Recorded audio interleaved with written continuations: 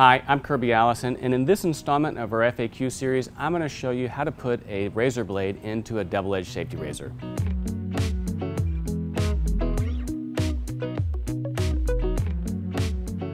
Now, wet shaving is one of those rituals that is near and dear to my heart.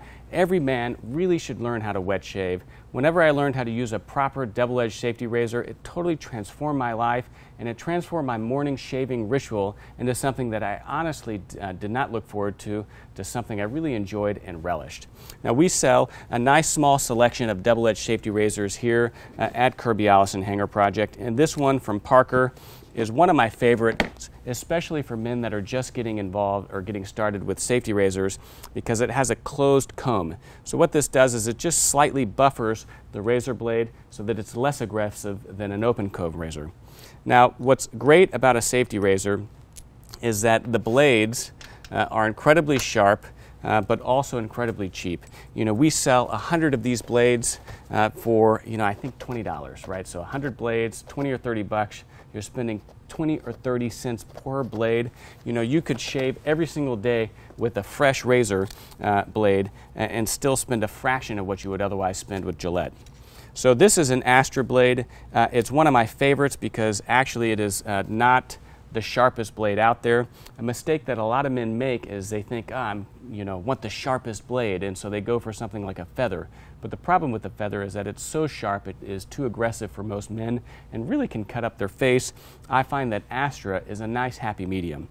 Now to put your razor blade into your double-edged safety razor, you just simply would drop this in.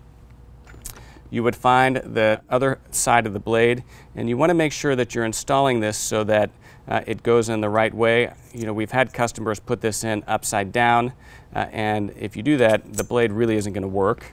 And then you simply screw the handle back on. And whenever you do that, this controls the flex of the blade so that as you're shaving, it gets a perfect angle at the skin uh, and really shaves quite well. So if you're someone that hasn't used a double-edged safety razor, uh, this is what it looks like. It's very easy to install the blades, and I can guarantee you that with a little bit of practice, you'll get a shave so much better than the shave that you would otherwise get with the cartridge razor that you'll never look back. In this video, I'm wearing one of our Kirby Allison Sovereign Grade ties. This is a Grenadine Grossa uh, navy tie.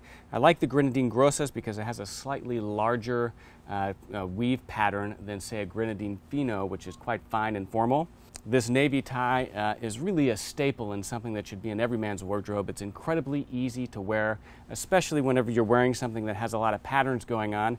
I've got a patterned uh, zinnia uh, odd jacket, uh, a striped blue shirt, and so to have any type of tie that also had a pattern would just be too much, and so this is really something that's great to use a nice solid tie.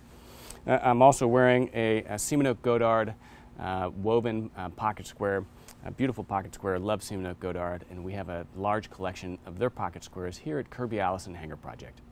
Of course, this tie is tied with my signature Old Birdie knot.